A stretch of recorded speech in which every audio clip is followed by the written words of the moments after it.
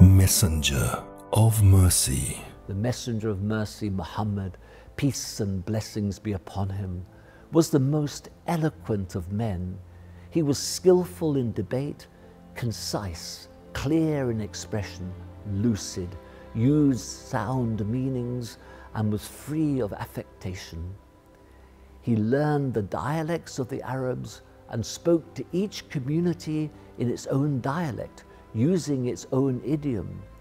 His conveying of deep truths and clear instructions in compelling and direct phrases can be tasted in the following examples. People are like the teeth of a comb. A man is with the one he loves. A man who knows his own worth is not destroyed. The best of affairs is the middle way. Fear Allah wherever you are. Follow a bad action with a good one to wipe it out. Allah shows mercy to his worshipper who speaks well and gains, or who keeps silent and safe. Be in this world as though you are a stranger or a wayfarer and count yourself amongst those in the graves.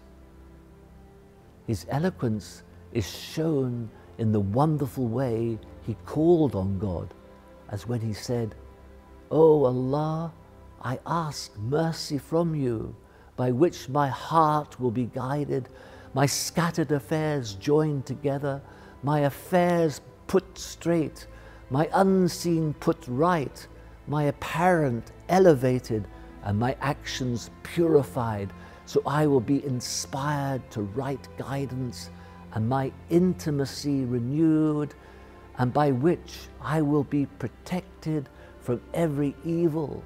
O Allah, I ask you for a good outcome in the decree, the food of the martyrs, and the life of the blissful, and victory over my enemies.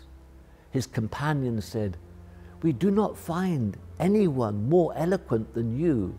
He replied, How could it be otherwise?